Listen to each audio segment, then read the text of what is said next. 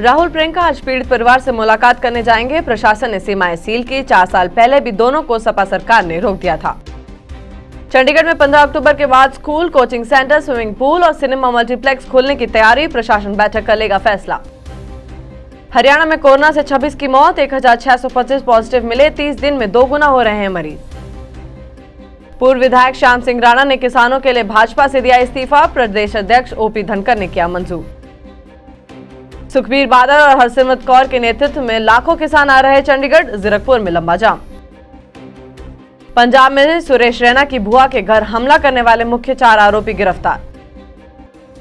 PM Modi के रोहतांग अटल tunnel के उद्घाटन समारोह और जनसभा में जाने वाले के होंगे कोरोना टेस्ट।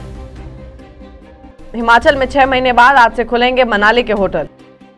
ताज़ा अपडेट्स व बड़ी खबरों के लिए सब्सक्राइब करें अर्थ प्रकाश टीवी और बेल आइकन दबाना न भूलें।